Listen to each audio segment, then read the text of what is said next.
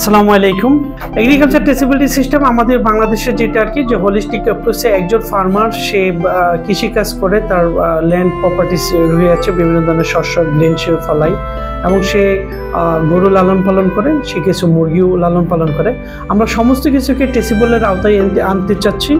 এটা আমাদের একটা ক্ষুদ্র প্রয়াস, যেন একটা ইকোসিস্টেমে সমস্ত এগ্রিকালচার যে ইনপুটগুলি কীভাবে সে সংরক্ষণ করতেছে, সে কীভাবে এটা থেকে মোর প্রফিটেবল হতে পারে, সেটা হলো এগ্রি টেসিবিলিটি নামে আমাদের সফটওয়্যারগুলি ডেভেলপ করা হয়েছে। আমাদের যেটা লাইফস্টক টেসিবিলিটি এটা আমাদের মিম্বা নামে পরিচিত।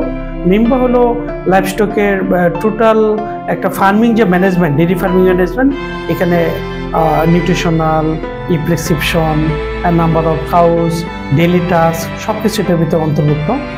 সেকেন্ড যেটা হলো ইউএসএস পুলেক্স নামে যেটা পোলট্রি এটাতে স্মল হলো যে পোলট্রি ফার্মিং তাদের সমস্ত কিছু এটাতে নতুন ব্যাচ থেকে শুরু করে ফার্মার্স লেভেল তারপর ডক্টর তারপর ফিড সেলার এবং কেমিস্ট এবং মার্কেট প্লেস পর্যন্ত এটার সাথে জড়িত এবং আমাদের ক্রপ টেসিবিলিটিটা ল্যান্ড সিলেকশন থেকে শুরু করে সিড সিলেকশন থেকে শুরু করে পেস্টিসাইড বায়ু পেস্টিসাইড ইউজ থেকে শুরু করে পোস্ট হারভেস্টিং যে মডিউলগুলো এটার সাথে জড়িত, যেটা দিয়ে যে কোনো কনজিউমার সে বুঝতে পারবে যে এটা টেসিবল এবং এটা অরিজিন কোথায়, কি কি ইউজ করা হয়েছে। আমাদের এই এগ্রি থেকে আমাদের উদ্দেশ্য হলো যে গুড এগ্রিকালচার প্র্যাকটিস আমরা আমাদের সফটওয়্যার মাধ্যমে এগুলি ফলো করি এবং খামারিদেরকে অ্যাওয়ারনেস বিল্ড আপ করার জন্য কাজ করি এবং good animal husbandry practice good veterinary practice এবং গুড পোলট্রি প্র্যাকটিস এগুলি আমরা আনার জন্য চেষ্টা করতেছি।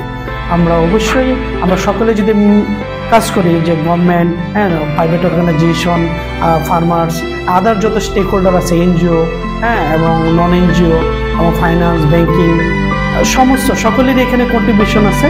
তো সকলে মিলে যদি একটা প্ল্যাটফর্মে কাজ করি, তাহলে অবশ্যই গভর্নমেন্টের যে smart agriculture two zero forum এটাকে আমরা অবশ্যই এক্সিকিউট করতে পারব, ইনশাআল্লাহ।